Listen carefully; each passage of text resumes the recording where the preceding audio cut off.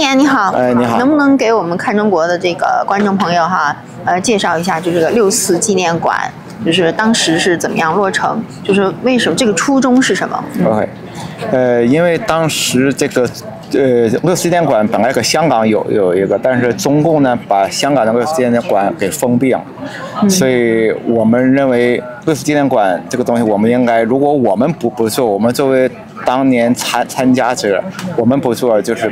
不能再叫别别别人去做。本来香港人就是就是替我们做了这件事情，又被共产党给关闭，所以我和王丹商量之后，我们要把这个纪念馆在美国纽约重重建起来。嗯，然后王丹和我就开始积极联联系当年参加六四的，还有海外一些热心中国民主事民主事业的人，我们就一起发起了最初我们大概几十人吧，就发起了这一个这个共同的提提倡，然后向呃全社会捐款。我们预计就捐款五十万，因为在曼哈顿那个地方，如果要开个纪念馆的这个钱啊，捐款到五十万，这五十万，呃我们是就是两年之前就在我们行，我们本来打算就是两两年能募到五十万，在六四三三十五周年这时候把纪念馆建起来，因为中国人都是逢五逢十，都是觉得好像比较但是没想到我们这个钱很快。很快就筹筹到五十万了，所以我们在去年就是六四三十四周年的时候，我们钱已经到了嘛，钱一到，就是我们钱就是为了建纪念馆不能放嘛，你知道？所以我们就是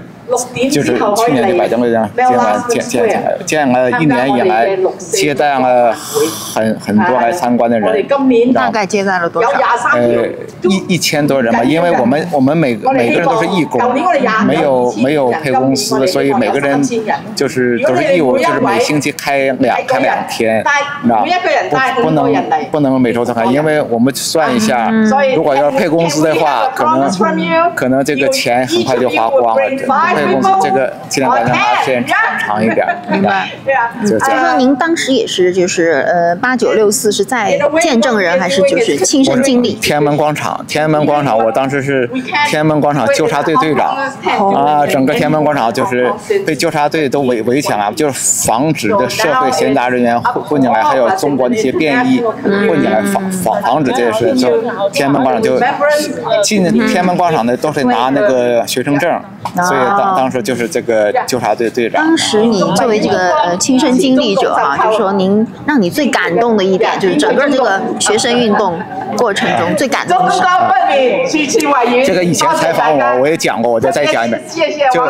就在，因为我们都是睡在那儿，吃在那儿，都就就睡在水水面，吃在水。就那有有有有一天早上，朝阳刚刚出来，